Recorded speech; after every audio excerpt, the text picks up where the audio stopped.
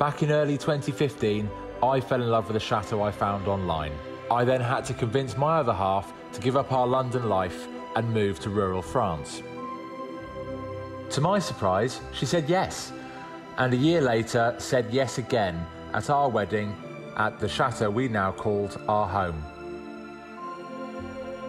It's just us two and our husky Lightning, and now, of course, a few animals who seem to have joined us along the way.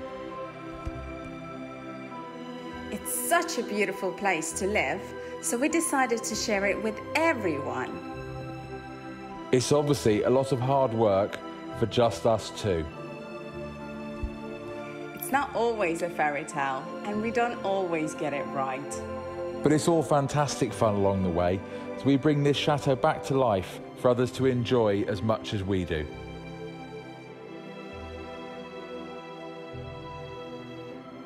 Follow us, Angelina and Phil, along with the highs and lows of our chateau life.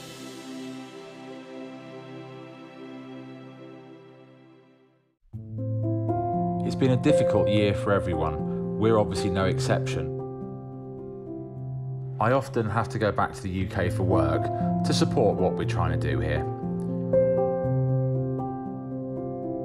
With no events this year, I've had to go back a little earlier, so it was with a heavy heart I said goodbye to France.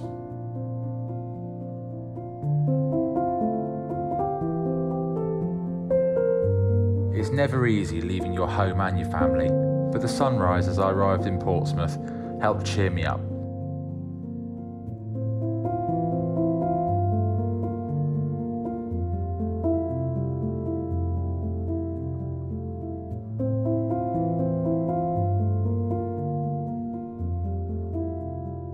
Of course, that's the calm before the storm and a train into central London.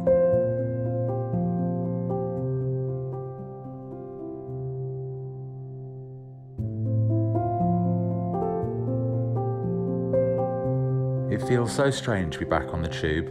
It's a million miles away from rural France.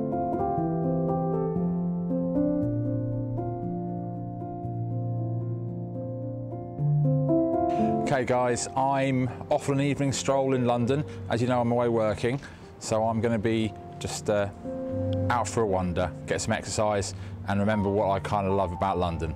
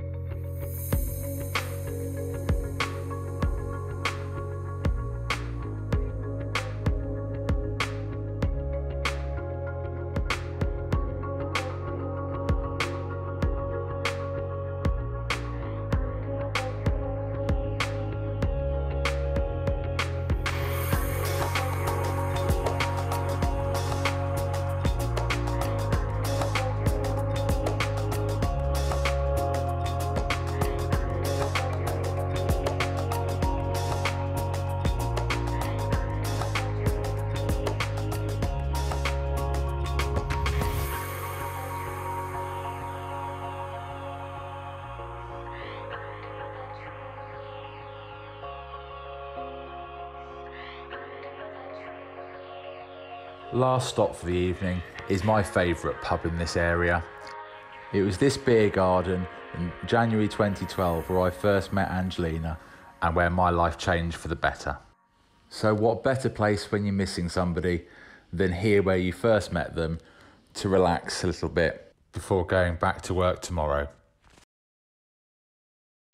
So this week, as I'm still painting um, the sun terrace furniture and waiting for paint to literally dry, such as, you know, the sign, the arrow before I can hang it, I thought I would um, change the scene a little bit because I'm getting a bit bored of that and I'm sure you are too.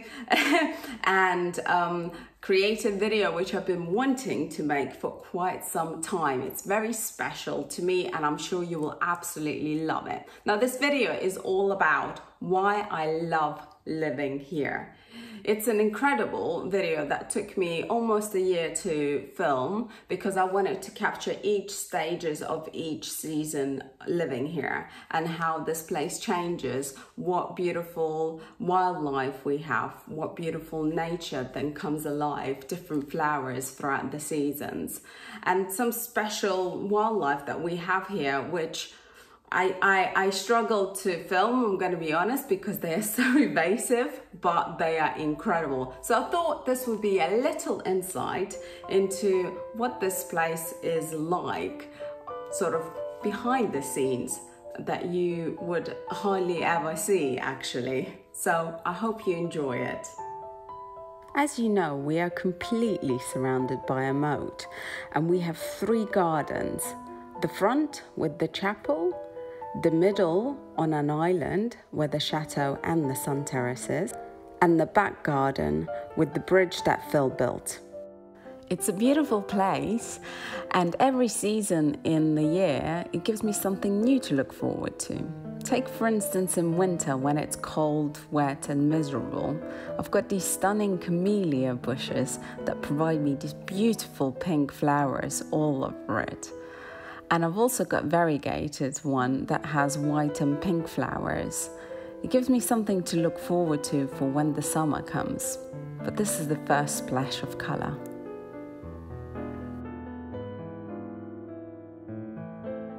Then in March, I get the splash of pink colour all over these elephant's ears that we have on the lawn edging. Even our grass is full of wonderful surprises with pinks, whites, blues, and lavender coloured wonderful flowers. They've been there since day one and they just pop up as soon as a bit of sun and warmth comes through.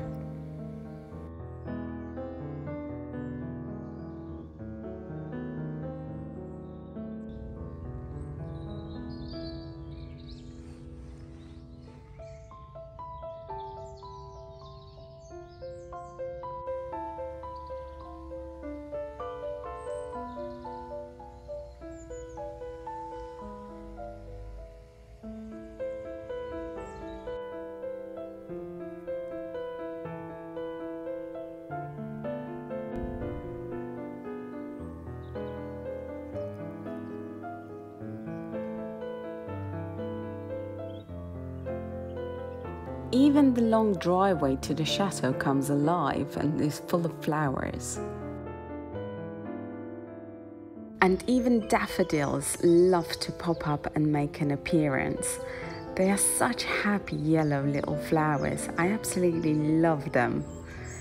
They are the sign of spring is coming.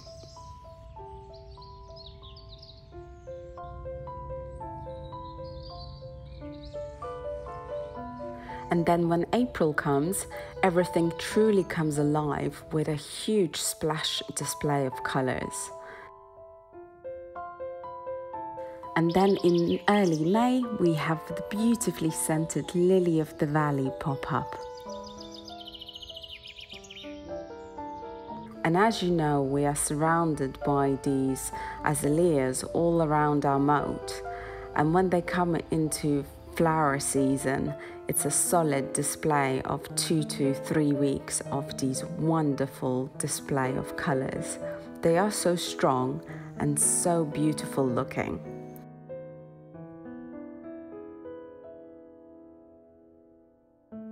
And even the ducks enjoy the beautiful view on my floating platform. The duck house has served them well and they have settled in beautifully on it.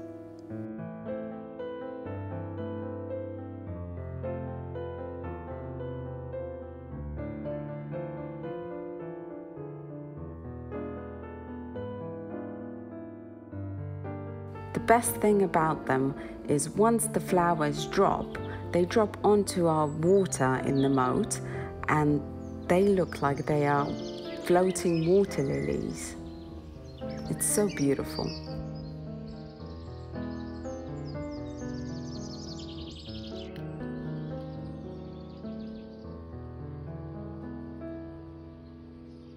Everything loves the warmer days of the summer take a look at a beautiful and huge grey carp swimming about and sunbathing.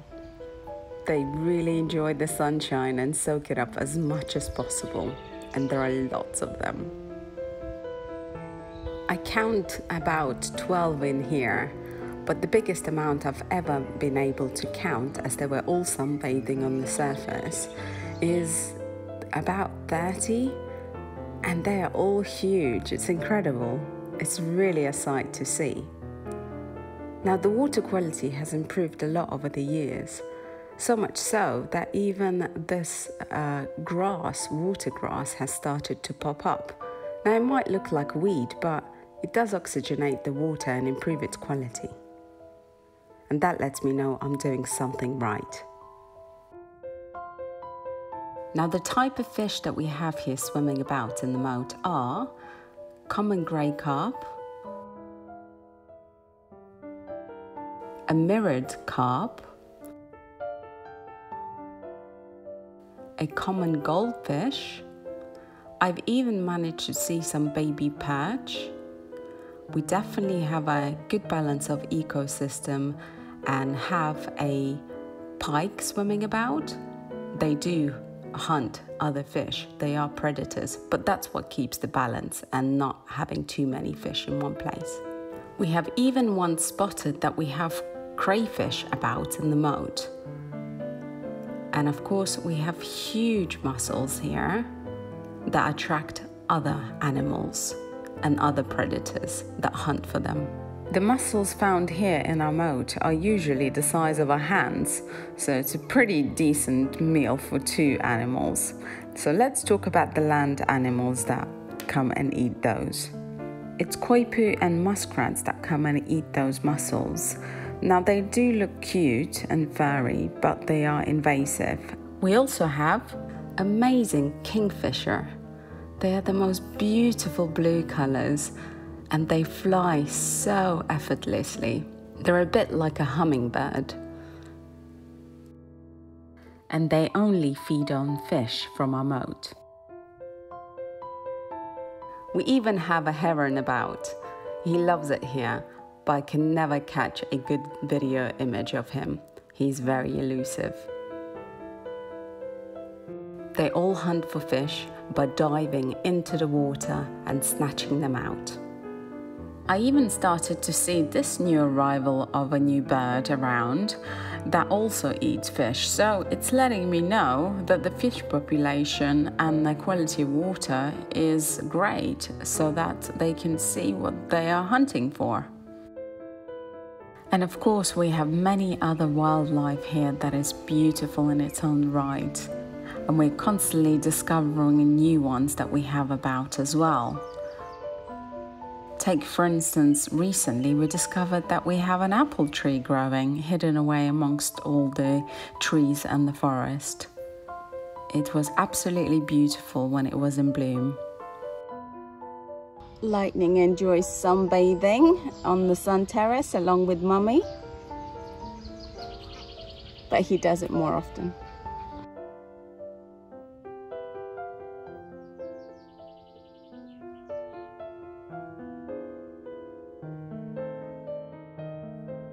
And you'll recall that we have a beautiful peacock called Clyde who loves to show off his feathers.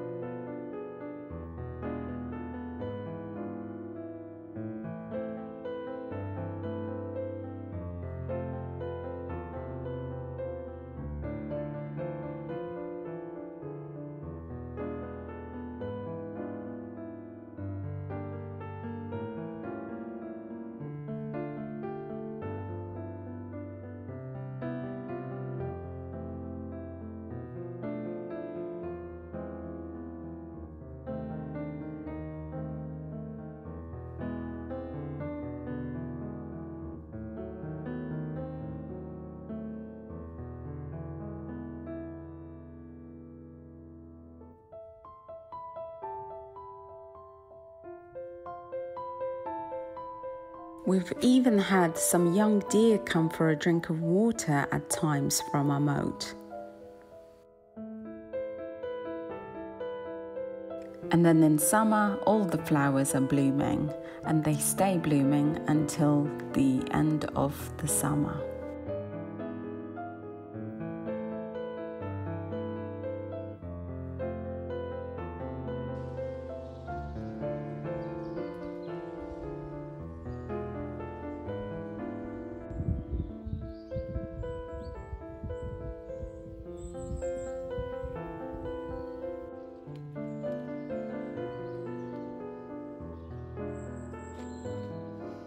In episode 13, we explained to you how the which brings me to my big vision that I want to share with you. And here is what it looks like. General pollution and breakdown of all the debris and it's full up to the silt and every year it's rising and rising as there is more and more each year and it has accumulated over the years so much so that it's piling up in the corners in most of places, and we would like to clear this in the near future. And this is the importance of the water for the wildlife here, and we care for it so much because it's beautiful to watch it grow. All living creatures depend on it, from the fish to the birds to the ducks to the feral cats that we have around as well, and muskrats and everything in between. But slowly we're making progress and making plans to change this and improve. Which brings me to my big vision that I want to share with you. And here is what it looks like. This is called water landscaping. Just like on land, you have full of flowers when you do landscaping, but this time it's with water, and there are many aquatic plants that I can add, from water lilies to these Japanese irises to mosaic plants and many, many more. I would like the chateau that is surrounded by a moat to be filled full of flowers, which will provide a safe haven for little fish and aquatic wildlife as well as help to clean and improve the water quality.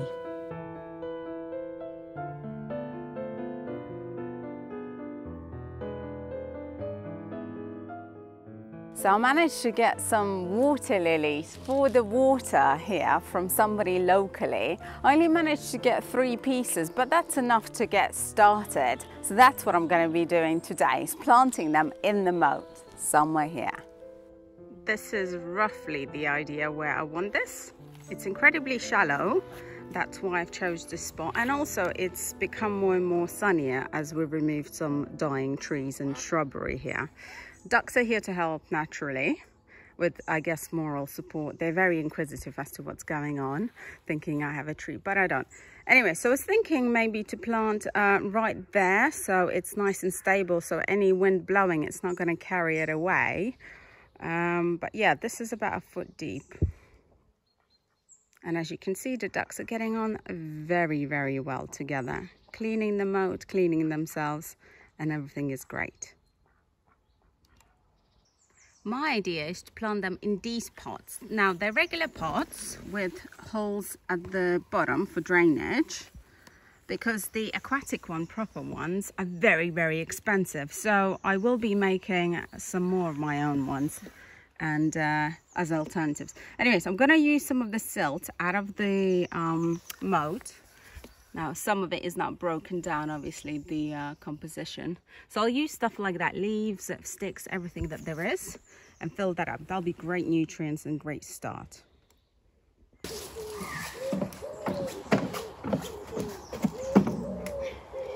Here they are, roughly all similar size.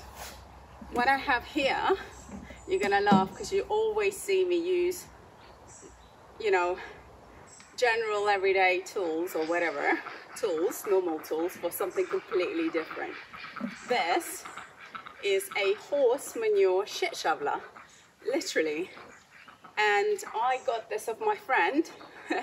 they gave it to me as a, you know, as a good present, seeing as I desperately needed. Because I told them I want to use it to literally like shove silt and broken down debris out of the moat because it's really great goodness and um, have it in my kitchen garden, compost or whatever, or for this project. And the great thing about this design, which I couldn't find anywhere online, is that it's ribbed here, like zigzagged. So the sticks are not gonna get caught or the leaves are not gonna get impaled. And obviously the water can go through it easily. So I love this design. This is why I begged them if I can have it. All right, let's get some of them in. Let's get one inside here. Oh God, it doesn't even want to go in because there's just that much silt. Which is okay.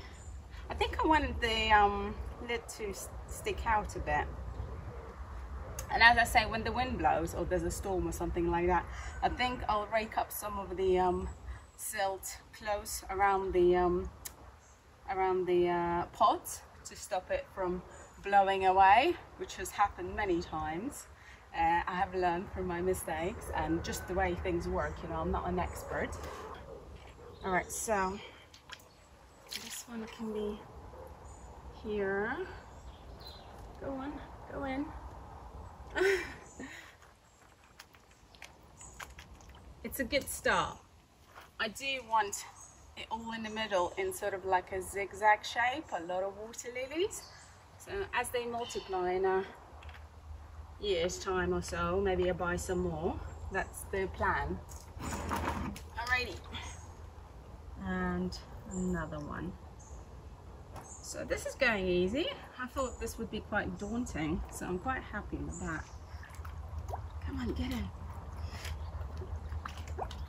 There we go, perfect. Now Filmer has mentioned before that he has um, built this bridge himself because the old one had rotted away and nowhere to be seen and we needed a bridge to be able to access that land rather than going all the way around that property through a field etc so this is great now I think I'll start with actually these I don't know where they are bulrushes or something I think I'll put them in first in the middle. So they'll be quite free actually. They're not gonna have a pot. But that's okay.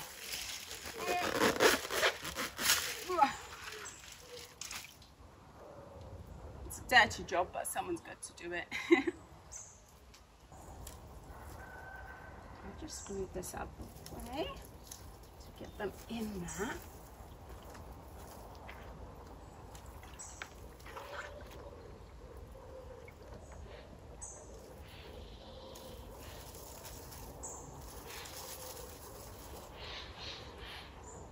It's okay, it's a good start. Not sure what Phil will think of this, but I think it's something. It's great, you know, it starts cleaning the water. I think, like, on these rockeries, this is granite is cement, just to hold up the, obviously, the, the, the bridge so it doesn't sort of collapse and stuff for strength. I think I'll put, like, nice rockery flowers. Um, it'll be quite nice to have, like, rockery flowers here because they don't need much water, so I think that'll be a really great idea. Right, next thing. Think I'll stabilize. Mm, There's so many sticks here.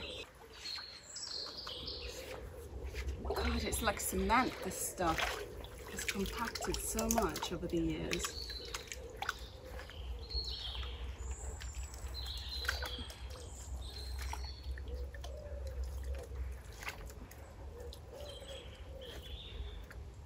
It really is like cement, honestly. Oh. Okay. Ducks used to put. Well, uh, I did not see that happening. All right, well, that's not gonna stop me. I'm just gonna carry on.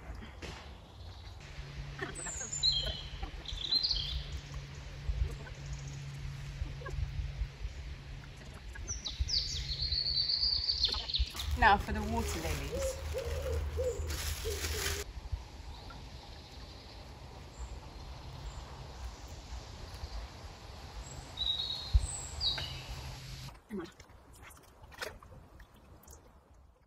So here they are. Here's a close up.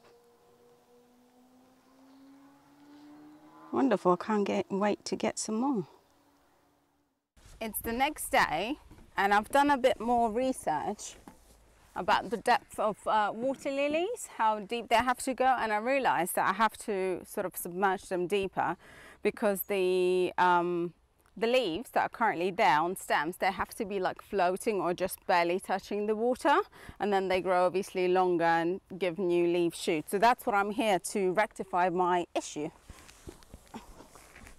Because obviously at the moment they're babies, sort of, and uh, I thought I'd just dunk them in like this without getting back in the water.